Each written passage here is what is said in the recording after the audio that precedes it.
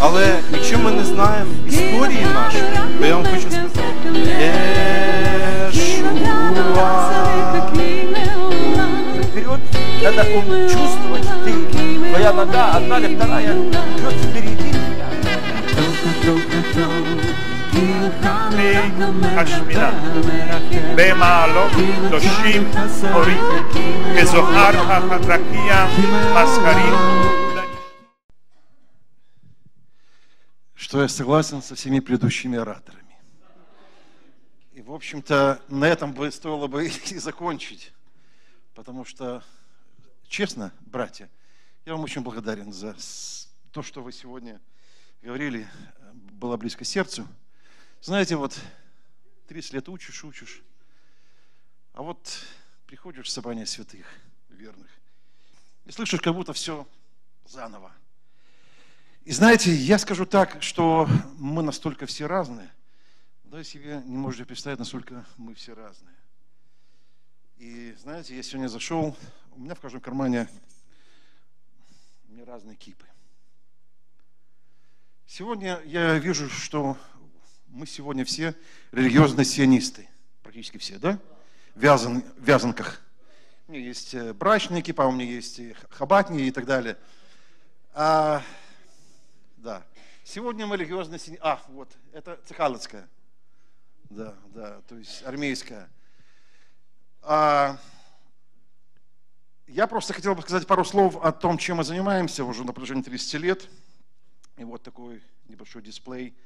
На столике вы видите Священное Писание, наши журналы. А, Я не буду сейчас э, в подробностях говорить, потому что времени мало, все устали. И я знаю, вы просто для меня а, герои веры.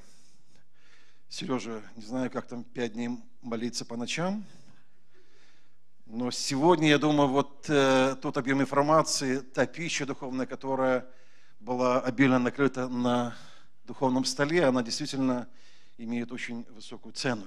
Итак, мы э, занимаемся служением, мы совершаем служение э, от голландской организации, голландский фонд, который называется «Израиля Библия».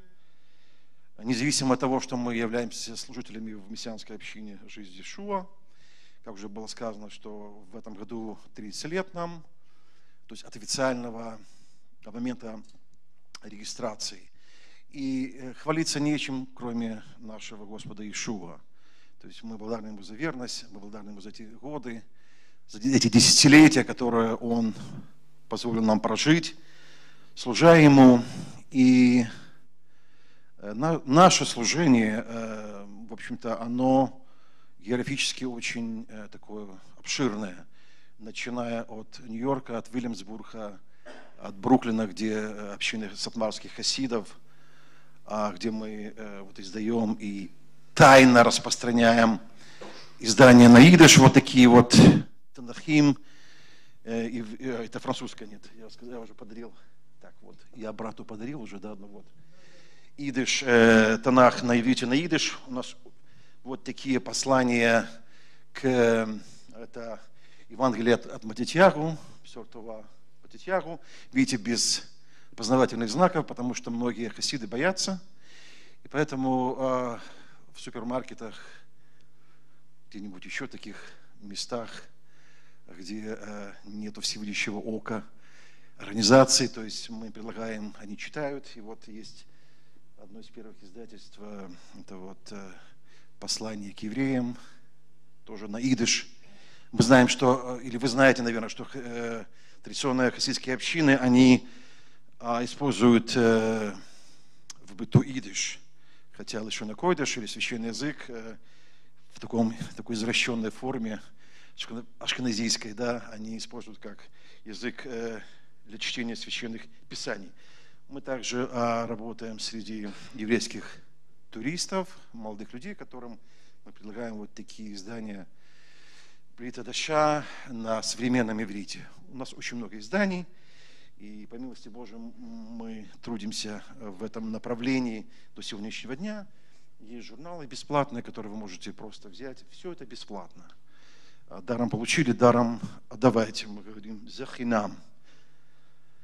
А мы с моей с моей дрожащей супругой.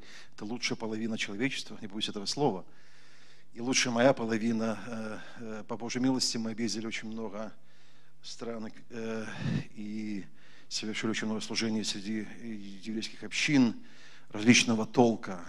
Это ортодоксальные, общины хабадники, братславеры, сатмаровские хасиды, сагурские хасиды, бельские и так далее. Есть у нас друзья ортодоксальные раввины, э, даже мы поддерживаем связь. И понятно, что сегодня мы этот вопрос уже обсуждали. Э, некоторые раввины видят в нас потенциальных жертв, жертв, жертв э, миссионерской агрессии, и они пытаются, пытаются нас обратить в веру отцов. Соответственно, мы стараемся сеять доброе вечное в ответ и не знаем, а на какую почву это доброе вечное падает, но мы верим, что Господь поливает, взращивает и будет давать всходы. Это вкратце о том, чем мы занимаемся в свободное от работы время. И хотел бы э, сейчас пару слов, наверное, уделить э, теме, которая, э, я думаю, актуальна для каждого из нас. И, возможно, я хотел бы привнести такой вот академический привкус. Сережа, я не разбираю слова на буквы, на купюры и так далее. Я вообще, я ничего не знаю. Я ничего не знаю, и чем больше я погружаю в Священное Писание, чем больше я изучаю его, тем э, для меня все больше предстает великий э, Бог, Бог, которого познать невозможно, но Бог, который по своей милости открывает крупицы каких-то знаний, перекрывает занавесочку, через которую мы можем посмотреть в первую очередь на себя, в наше сердце. И э, понимать, э, в общем-то, что является нашим призванием, э, понимать вот ценность того искупления, в которое мы вошли через кровь Машииха. И каждый день благодарить за это спасение, за этот дар, за искупление грехов, за ежедневное наставление, за ежедневные уроки, которые мы получаем из благословенной руки Всевышнего Бога. И по теме сегодня я хочу коснуться вопросов, которые связаны, наверное, больше, в большей мере с, э, с анализом или желанием понять э, некие духовные принципы и законы, э, которые изложены в священных писаниях, для того, чтобы научиться отделять ничтожное от чего-то глобального. Да? Насколько я понимаю, это является основной темой сегодняшней встречи. Я постараюсь быть лаконичным и кратким. Не знаю, это получится или нет – но я постараюсь, я приложу, приложу максимум усилий для того, чтобы изложить материал очень в таком, может быть, сжатой форме, но надеюсь, что э, вы для себя что-то почерпнете. Итак, э, сегодня, э, если вы являетесь активным пользователем социальных сетей, интернета, вы, наверное, встречаете такое явление, как коучинг, как семинары личного роста, программы по достижению успехов, какие-то бизнес-планы. И не знаю, помогает ли это людям. Наверное, помогает, если не слушают. Э, но это не область моих интересов. А что мне интересно, эм, что, я надеюсь, интересно для всех нас, для верующих, это обратиться к Священным Писаниям. И знаете, Священное Писание, а, поймите мне правильно э, за это сравнение – Священное Писание подобно кулинарной книге, в которой Всевышний Бог, великий кулинар, изложил свои рецепты вкусной и здоровой пищи. И для того, чтобы приготовить эту пищу для себя, чтобы получить э, ту дозу витаминов и питательных веществ, чтобы поддержать себя, э, нужно правильно читать эту кулинарную книгу – взвешивать правильные вот дозировочки и увидеть э, в этом определенный, возможно, скрытый смысл. Еще есть такое кулинарное понятие, как выжать. Знаете, вот выжать, сделать вот экстракт из прочитанного текста, вот выжать какую-то мысль из рассказа или истории библейской, э, выжать мораль, ну и в совокупности и Слова Божьего вот, э, ну, вытянуть в буквальном смысле вот те золотые крупицы его откровений. И когда мы говорим о Торе, когда мы говорим о священных писаниях, мы понимаем, что это в каком-то смысле сердечно-сосудистая система мироздания. Это магистрали переплетения сосудов, капилляров, а, и все это насыщает этот мир. Его слово насыщает э, нашего духовного человека.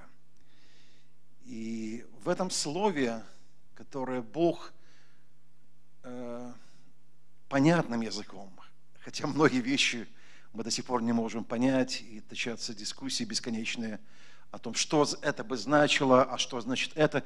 Тем не менее, э, Всевышний использует различные яркие образы, понятные для нас образы.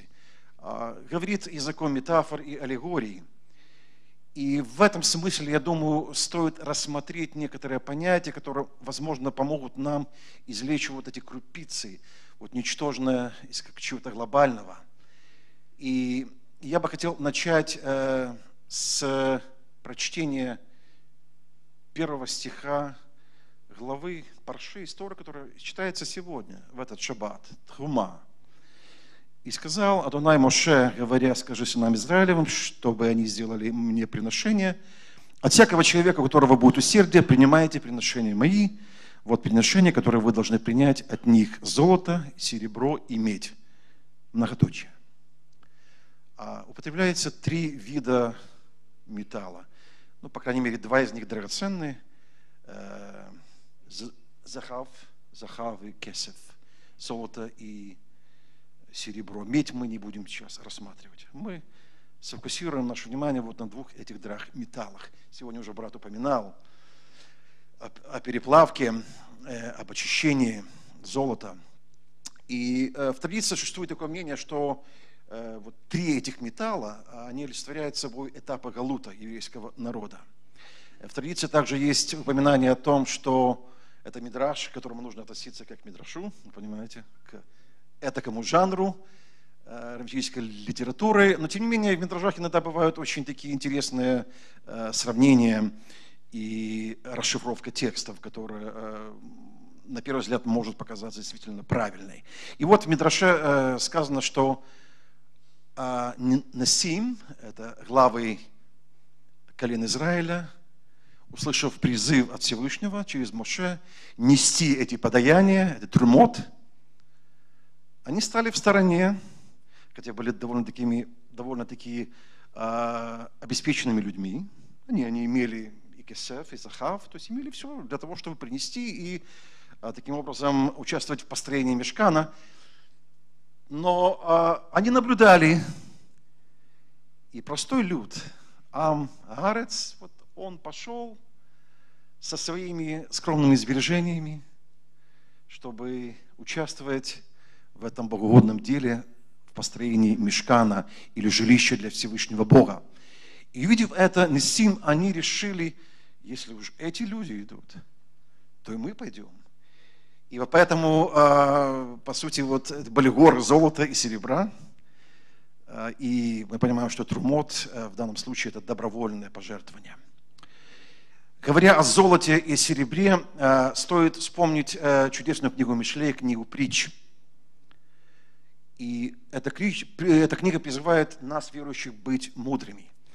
И в Мишлей 25 главе, в 11 стихе мы читаем «Золотые яблоки в серебряных прозрачных сосудах» слово, сказанное прилично, дословно в переводе с иврита, сказанное к месту. По-моему, очень понятное, да? Э, такое пожелание для того человека, который желает быть мудрым. Но что это за золотые яблоки в серебряных прозрачных сосудах? И вот здесь есть очень хороший э, комментарий того же Вилнского Гаона. Я прочитаю, с вашего позволения. Он пишет, как золотое яблоко, покрытое серебром, в серебряной обложке светящиеся отверстия. И тот, кто не рассмотрит его внимательно, увидит только серебро, но не золото. Тот же, который рассмотрит внимательным глазом, увидит, что под серебром золото. И вот здесь очень важно отметить или сделать ударение на человека, который смотрит внимательным взором, внимательным глазом на то, что находится за вот этой серебряной посудой и то, что спрятано в ней. И я думаю, что это э, хороший для нас пример, наверное, из книги притч, увидеть, насколько важно э, приложить усилия для того, чтобы извлечь из ничтожного что-то важное и драгоценное. И есть очень много комментариев по этому стиху книги Мишлей. Я их опущу и хочу сразу обратить ваше внимание на то, как Всевышний Бог в своем слове обыгрывает понятие золота и серебра. Мы знаем у, книга, у пророка Малахии вот те призывы э, чиститься, да, и когда придет Малак Абрит или э, ангел Завета, кто выдержит, э, выдержит его пришествие, он как огонь расплавленный, как щелок очищающий, станет переплавлять, очищать серебро и так далее, и так далее. Очень много мест, которые указывают на то, что золото и серебро должны пройти процесс очищения. И этот процесс очищения, он является прообразом а, нашей жизни, нашей жизни э, без Бога и э, в тот момент, когда мы призвали имя Всевышнего, когда мы вошли в Его спасение через Ишуа Мессию, Господь начинает эту переплавку и это очищение. И для меня очень важно использовать определенные элементы еврейской экзегетики, э, которые мы постоянно стараемся внедрять в изучении священных писаний, во всяком случае в нашем собрании или там, где меня приглашают учить. И я уверен, что братья, братья здесь очень мудрые умные, знают, что такое кальва хамер. Или меры, меры Гелеля, да, знают все. Кто-то не знает? Вкратце, от меньшего к большего, от э, легкого к сложному. И э, все Евангелия, весь Новый Завет пропитан вот этим инструментом толкования. Главное разобраться, где это. И в частности, есть одно место, второе послание Тимофею, вторая глава, с 20 по 21 стих, где Тимофей говорит, что есть в Доме Божьем сосуды не только золотые и серебряные, но и деревянные и глиняные, одни в почетном, а другие в низком непочетном употреблении. И кто будет чист от всего, то есть от нечистоты, тот будет сосудом в чести, освященным – благопотребным, владыке, годным на всякое дело. И вот здесь очень интересно, если э, открыть греческий текст, то можно увидеть, что э, два понятия, как э, сосуды для почета, сосуды для бесчестия, если дословно перевести, э, можно также э, перевести как сосуды ничтожные и сосуды драгоценные. И я уверен, что здесь э, Рав Шауль используют аллюзию к тексту пророка Иеремиягу, о котором сегодня уже было сказано, в 15 главе, где сказано, что если ты извлечешь драгоценное из ничтожного, будет, будешь как мои уста. И как же можно извлечь драгоценное от ничтожного? И мы читаем у Тимофея через очищение, через очищение от примесей. Потому что золото должно пройти этот процесс, и в процессе очищения используют, вы, наверное, кто знаком с металлургическим делом, знаете, есть такой, э, его, его называют э, флюс, флюс, да, или плавень. То есть золото погружается, то есть в виде порошка э, погружается в эту доменную печь, добавляется этот плавень, и плавень впитывает в себя различные вот эти добавки. И э, золото вообще, э, оно само по себе э, очень податливое, и, и это очень нежный сплав. И вот именно добавки цинка, меди, никеля, железа делают его грубым. И тут есть иносказание – то есть, а, когда в нашей жизни присутствует грех, какая-то примесь, то а, этот грех делает наше сердце грубым. То есть в этом сердце очень много а, никеля, железа, меди, и только очищенное золото, оно податливое в руках Творца.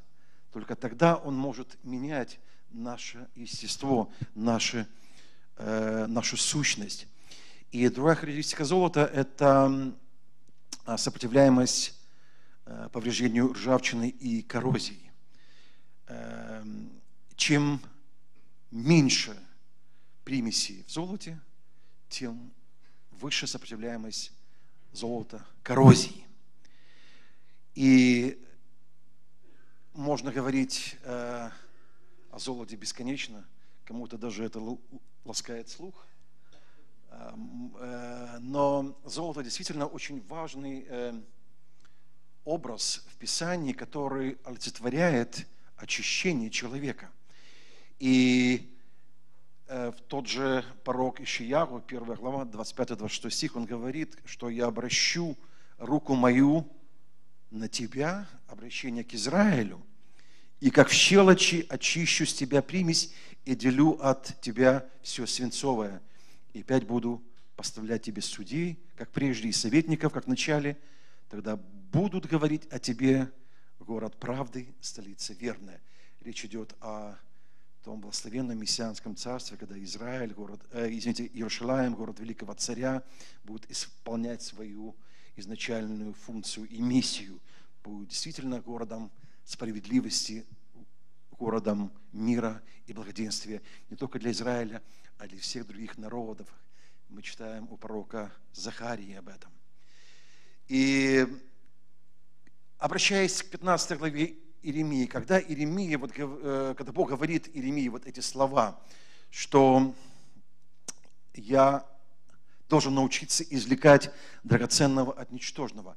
Если мы внимательно проанализируем сам текст на иврите, то перевод, э, э, наверное, кому-то покажется Э, не совсем точным, то есть он не будет соответствовать тому, что, по крайней мере, записано в синодальном тексте.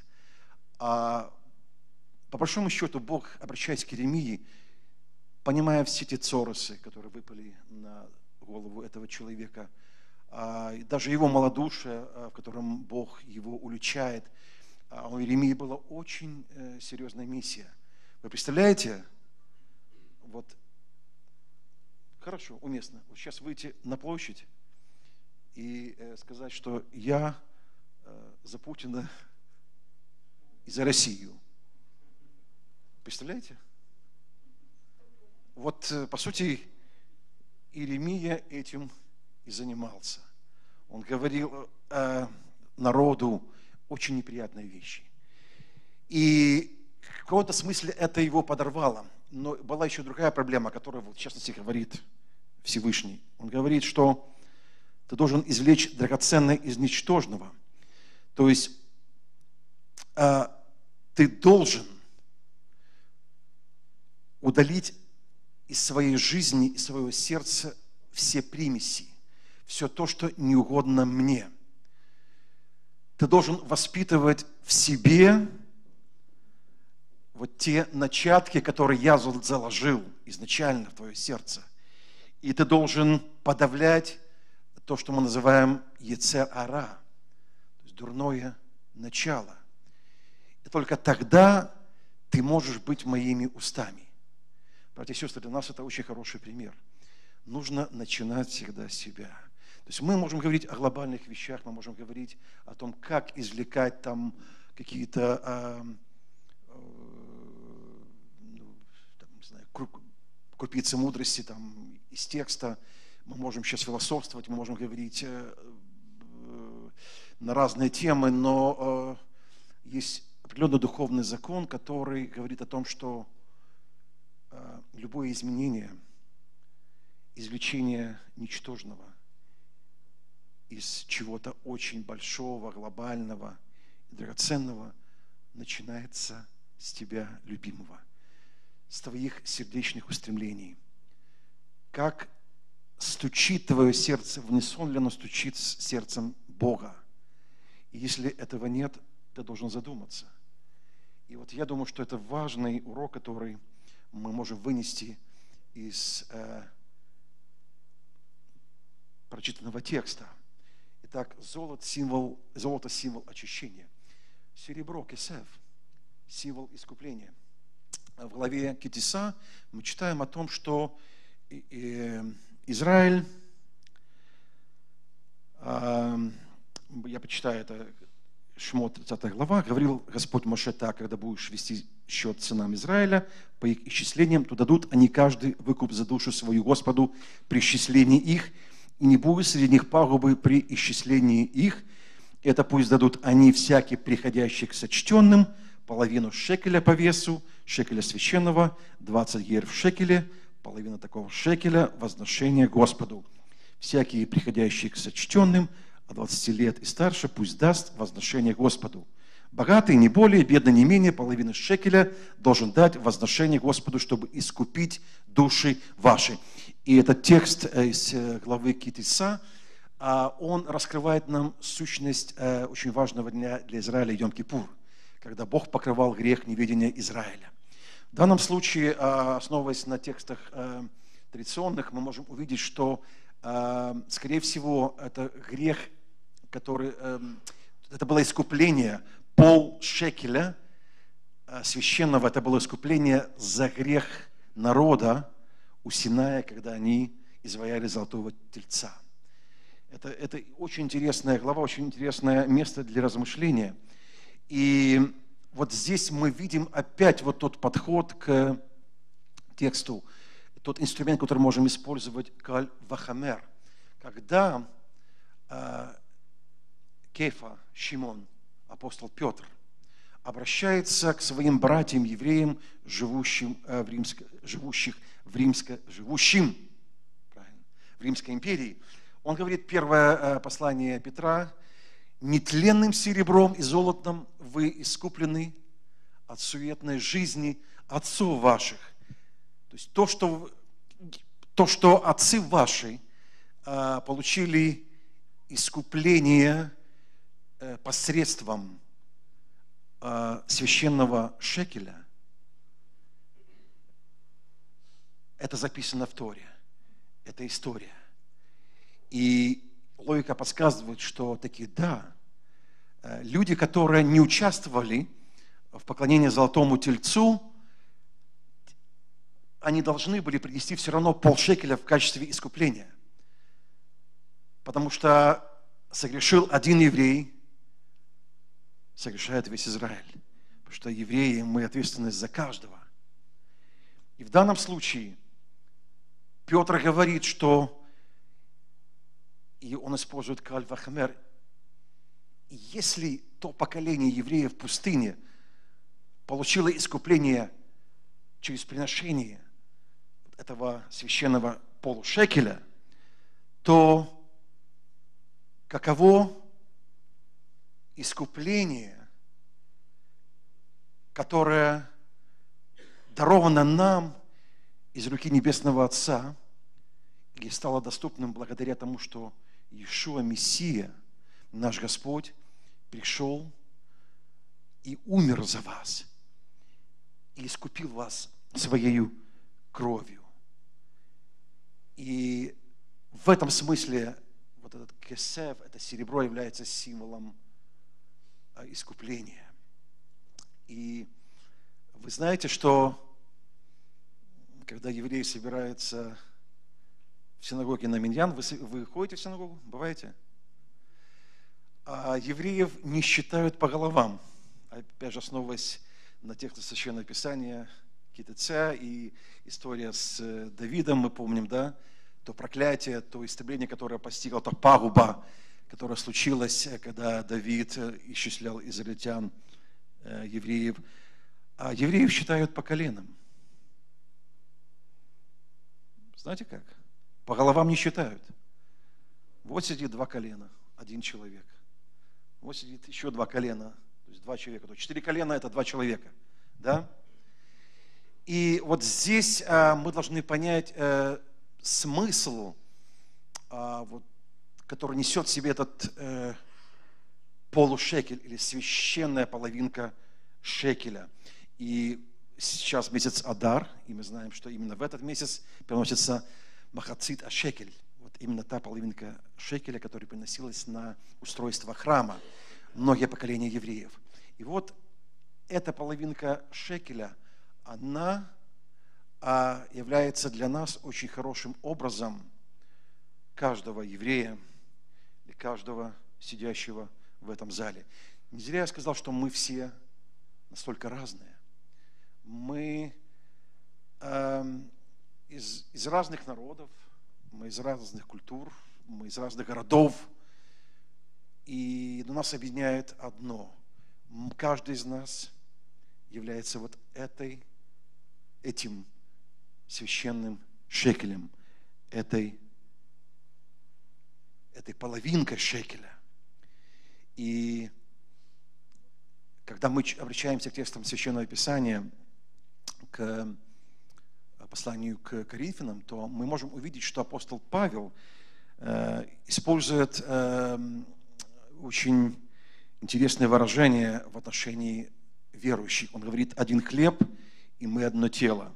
Ибо как в одном теле у нас много членов, но не у всех членов одно и то же дело, так мы многие составляем одно тело в Машиихе, а порознь один для другого члены. И полушекель или половинка шекеля, она состоит из 20 герот, из 20 э, мелких монет, в то время как обычный серебряный шекель состоит из 10 герот. И э, вот каждый из нас, являясь этой половинкой, он неполноценен. То есть он не представляет той полноты, которое призывает нас Господь. Когда мы собираемся как одно целое, то есть вот эти половинки шекеля становимся одним целым, то вот тогда действительно мы ощущаем вот единство, единство, которое, которого призывает нас Господь. И вот тогда мы действительно можем понимать, что из ничтожного из малого, то есть из этой половинки священного шекеля, а когда мы вместе, когда мы собираем воедино, э, собираемся воедино, мы таким образом олицетворяем ту полноту, которую призвал нас Господь. И, как записано в послании Колоссянам, ибо в нем обитает вся полнота божества телесно. И именно в нем, вот каждый из нас, половиночка этого шекеля составляет одно целое. Является полнотой в ком? В нем. В Боге Израиля, который открыл себя через своего Сына и нашего Машииха, Иешуа. Ему вся честь и хвала. Аминь.